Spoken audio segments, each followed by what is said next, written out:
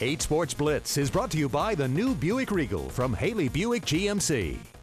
Bird gets the winner of Hermitage and Thomas Dale. Herm fans braving the cold, picking up action. Thomas Dale down 7-0. Quinton Taylor on fourth down completes it to David Robinson. That's a first. But on the same drive, it's Taylor from the two.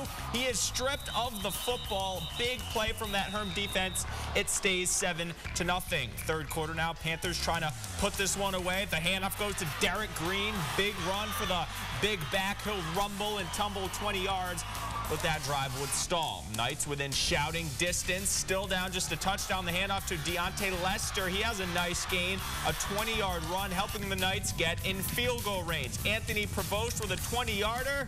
This one is no good. Knights still scoreless. Fourth quarter, desperation time.